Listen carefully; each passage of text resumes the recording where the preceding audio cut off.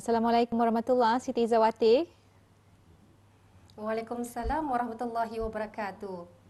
Ya, apa khabar pagi ini? Alhamdulillah saya dan kru yang bertugas dalam keadaan yang sehat dan juga ceria seperti uh, Muammar dan Mas Ayu pada pagi ini. Alhamdulillah. Alhamdulillah. Ya, Siti Zawati, macam yang tadi ya si Muammar awal sudah bertanya, apakah mm. uh, perancangan di hujung minggu ini? Mm-hmm.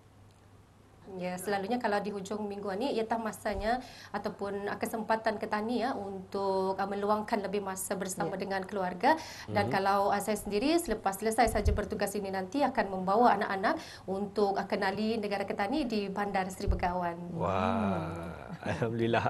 Baik, kita terus serahkan bersama dengan Siti Zuwati untuk mengkongsikan info dan juga bahasa-bahasa dari daerah uh, Temburong. Ya, terima kasih Muammar dan Mas Ayu. Bismillahirrahmanirrahim. Assalamualaikum warahmatullahi wabarakatuh. Selamat pagi dan salam sejahtera. Terima kasih Auda kerana kesetiaan habis kita uh, menantikan siaran lintas langsung rampai pagi dari uh, daerah uh, Temburong. Jadi selamat berhujung minggu juga kami ucapkan manfaatkan di hujung minggu bis kita dengan melakukan aktiviti yang bermanfaat dan ingin kita kongsikan juga ya keadaan cuaca di daerah Temburong pada pagi ini cerah dan mudah-mudahan keadaan cuaca akan berterusan uh, dalam keadaan yang baik ya pada hari ini dan ingin kita maklumkan uh, juga mengenai dengan aktiviti dan kegiatan yang akan diadakan uh, di daerah Temburong.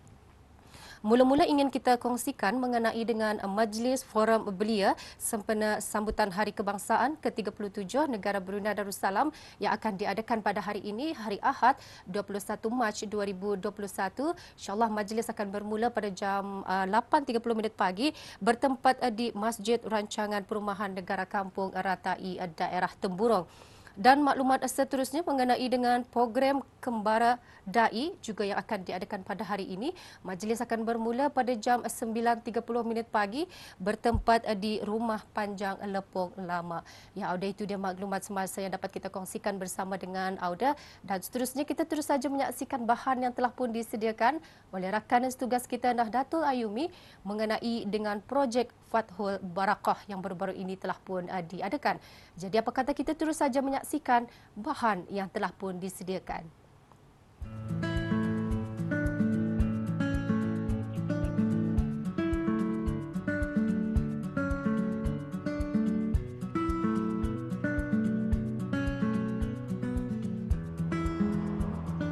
dalam usaha membantu golongan asnaf mualaf di negara ini. Projek Fatul Barakah 2.0 anjuran Kementerian Hal Ehwal Ukama melalui Pusat Dakwah Islamiah dengan kerjasama Persatuan Mualaf telah diadakan serentak di keempat daerah.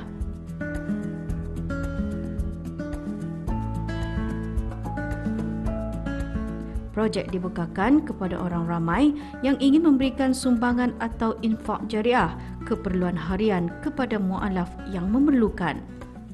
Bagi daerah Temburong, projek diadakan secara pandu lalu di unit dakwah Islamiah daerah Temburong.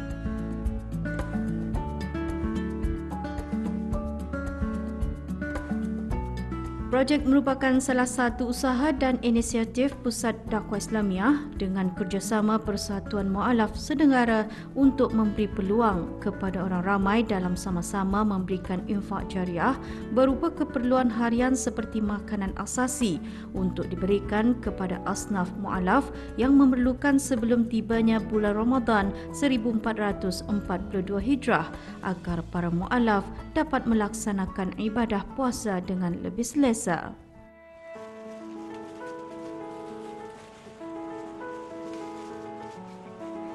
Alhamdulillahirrabbilalamin Wassalatu wassalamu ala ashrafil anbiya wal mursalin Sayyidina Muhammad wa ala alihi wa sahbihi ajma'in Alhamdulillah uh, Melalui bahagian pembangunan mu'alaf uh, Kebajikan mu'alaf Pusat Dawah Islamiyah uh, Diorang ini mengadakan satu projek Yang dinamakan Projek Fathul Barakah 2.0 uh, Sempena ketibaan bulan Ramadan yang akan datang inilah.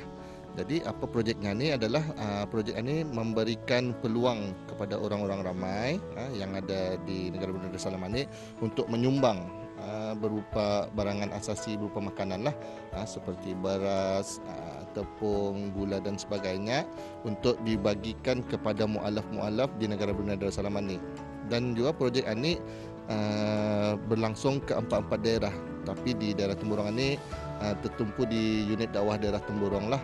Uh, uh, Okey, uh, projek ini juga uh, akan berlangsung selama dua hari. Bermula dari 20 hari bulan hingga 21 hari bulan lah. Hari Sabtu dan hari Ahad. Jamnya dari mula 8 pagi hingga 4 petang.